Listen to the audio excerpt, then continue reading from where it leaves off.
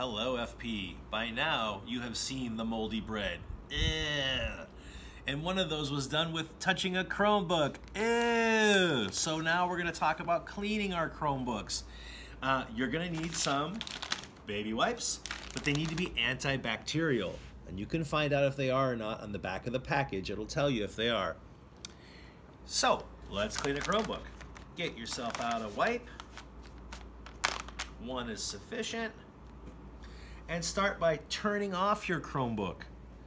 Ideally, we'd like the Chromebook to be powered off. And then, it doesn't have to be hard, go really gentle, but just make sure you wipe the whole surface and get everything just a little damp. It doesn't need to be pressed down hard. See how I'm going really gentle. And then you can also clean your screen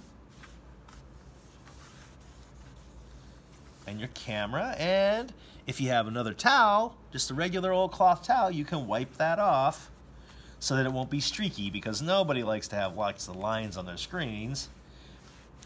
And then close your Chromebook and go ahead and wipe off the outside. Get it nice and clean too. Again, you don't have to put a lot of pressure. It's not about pushing down hard. It's just about wiping all of the area that you've probably touched with your hands. And that is how you clean your Chromebook. And now we won't have moldy bread anymore. Ugh. Have a good day.